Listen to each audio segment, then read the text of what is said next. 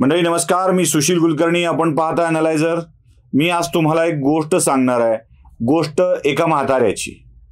गोष्ट सांगायला सुरुवात करण्यापूर्वी एक वैधानिक इशारा. कृपया या गोष्टीतील कोणत्याही पात्राशी राजकीय व्यक्तीसोबत संबंध जोडू नयेत. अथवा या गोष्टीला कोणत्याही निगडीत करून बघू नये कोणाशीही निगडीत करून बघू नये. ही गोष्ट संपूर्णत काल्पनिक आहे आणि ती केवळ मनोरंजनासाठी सांगतो आहे. गोष्ट राजकीय नाही पण तिला उगीच अराजकीय करण्याचा प्रयत्न करू नये. अराजकीय म्हणजे अराजक पसरवणारा करण्याचा प्रयत्न करू नये. ही गैरराजकीय गोष्ट आहे असं गृहीत धरावं. एक छोटस गाव असतं. नेहमीप्रमाणे सुरुवात करावी ना? आटपाट नगर असतं. तसं एक छोटस गाव असतं आणि त्या गावामध्ये एक वृद्ध माणूस राहत असतो. तसा तो गावचा प्रमुख. गावावर त्याचं वजन इतकं की गावचा सरपंच कोण असावा प्रमुख कोण असावा कोण नसावा याचा सगळा अंदाज या माणसाकडं फेट म्हणजे गावात कोण राज्यकारभार केला पाहिजे? कारभार राज्यकारभार नाही. कारभार केला पाहिजे. कोण नाही केला पाहिजे. कोण आलंच आपल्या मर्जी शिवायचं तर त्याला कसं हाकाललं पाहिजे याची व्यवस्था बघणारा हा म्हातारा. आता या म्हाताऱ्याच्या गावावरचा प्रभावामुळं म्हणजे सगळीच लोक त्याच्या अंकित असतात.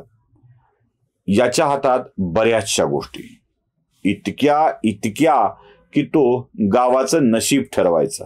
म्हणजे गावात उत्सव कसा साजरा व्हावा हे तो म्हातारा ठरवायचा. कोणत्या देवाचा व्हावा हे तो ठरवायचा. कसा व्हावा हे तो ठरवायचा. आणि म्हाताऱ्याचं ऐकलं नाही तर ज्यानं ऐकलं नाही त्याची कशी वाट लावायची हे पण तो म्हातारा नीट बघायचा. म्हणजे इतकी जरब गावावरती की गावाची सगळी कामं करणारा करू न देणारा आवश्यक त्या माणसाची होऊ देणारा हा म्हाताराच. कुठे पिन घालून ठेवली ना काडी घातली की ती निघायचीच नाही अशी याची खासियत. म्हाताऱ्याला गाव वैतागलेला. गाव वैतागला पूर्ण.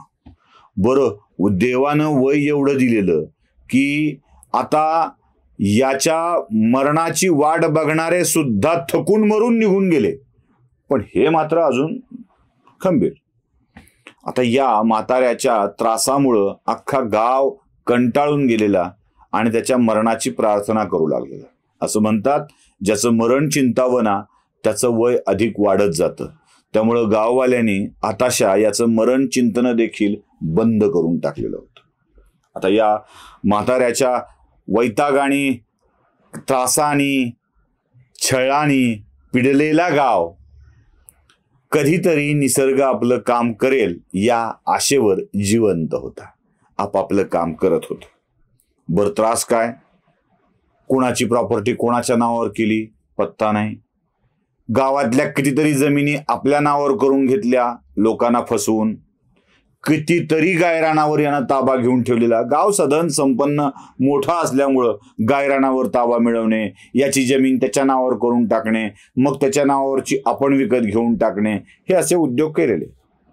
म्हणजे गावात राहायचं असेल आणि धंदा करायचा असेल तर म्हाताऱ्यासोबत पार्टनरशिप करावी लागायची. नाहीतर गावात धंदा करणं मुश्किल अशी त्याची स्थिती.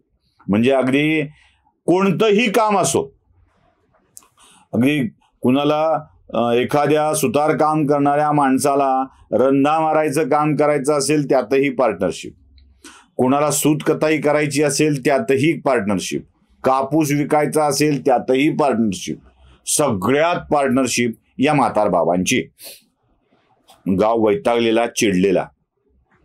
झालं असं की एकदा म्हाताऱ्याला आपल्या म्हातारपणाची जाणीव निर्माण झाली.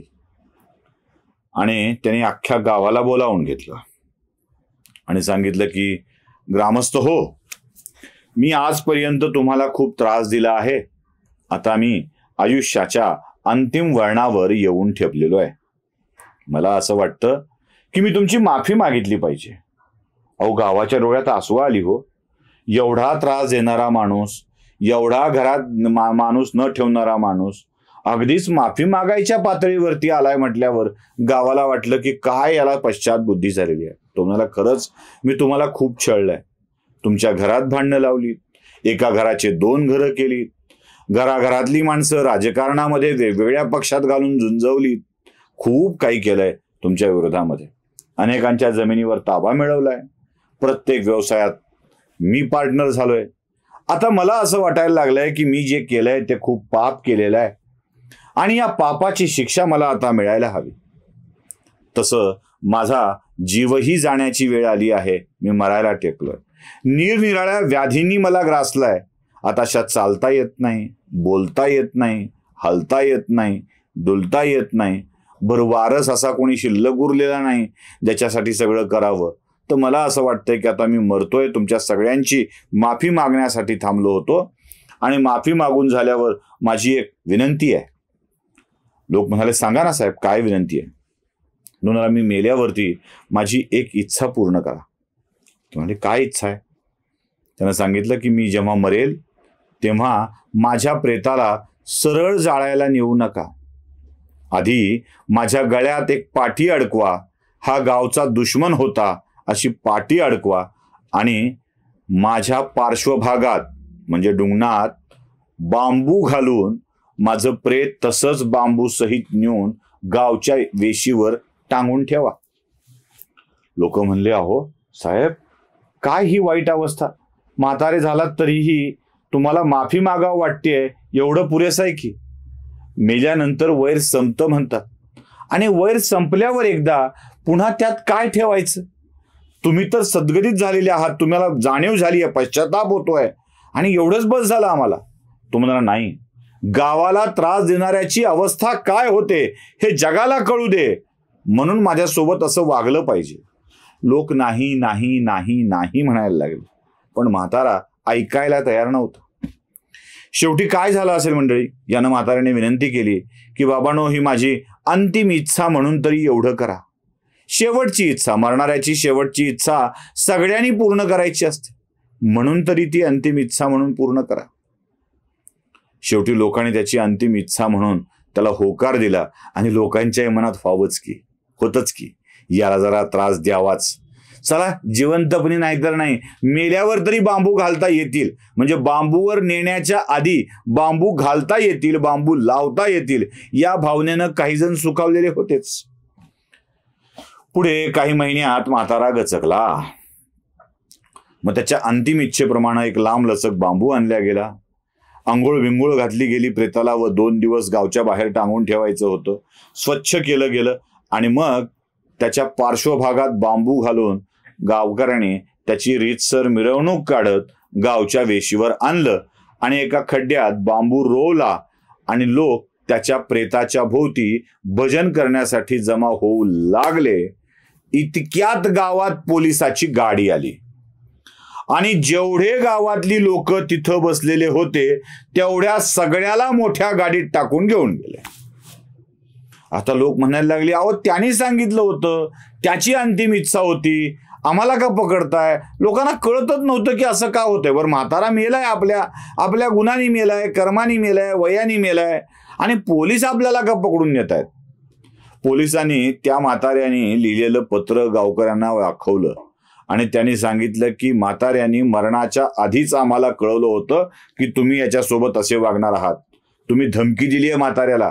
तुझ्या पार्श्वभागात बांबू घालून मारून टाकू. आणि तुझं प्रेत गावाच्या बाहेर लटकवून ठेवू. अशी तुम्ही सगळ्यांनी मिळून धमकी दिली आहे. गाव जमा झाला होता असं लिहिलंय. आणि त्यात लिहिलंय त्याप्रमाणेच इथं सगळं घडतंय. म्हातारा मेलाय तो तुमच्या मारण्यामुळं मेलाय. तुम्ही बांबू घातल्यामुळं मेलाय. म्हणून तुमच्या सगळ्यांवरती खुणाचा गुन्हा दाखल करतो आहोत. तीनशे दोनच्या गुन्ह्यात अख्खा गाव आत गेला. म्हातारा जाता जाता सुद्धा नीट वागला नाही. त्यानं अख्खा गावमध्ये घातला. म्हणजे गावकऱ्यांना बोलवलं. अंतिम इच्छा पूर्ण करायला लावली. बिचाऱ्या गावकऱ्यांनी ती केली. आणि पोलिसांना मात्र वेगळंच कळवलं. आणि हा सगळा गाव तीनशे दोनच्या गुन्ह्यात अटक झाला जामिनावर सुटला आणि आताही खेटे घालतोय या म्हाताऱ्याच्या खुनाच्या गुणामध्ये आता मंडळी अशी म्हातारी अशी काही इरसाल माणसं गावोगावी असतात. शंकर पाटलांनी अशा इरसाल माणसांच्या कथा अनेक लिहिल्या आहेत. अशाच कथा मी देखील ऐकल्यात. ती ऐकलेली एक कथा तुम्हाला सांगावी वाटली म्हणून सांगायला आलोय. आता उगीच कथेतले पात्र कथेतलं गाव आणि कथेतली माणसं शोधायला जाल आणि हा अमुकच आहे असं म्हणाल तर तो तुमचा तुमचा प्रश्न आहे.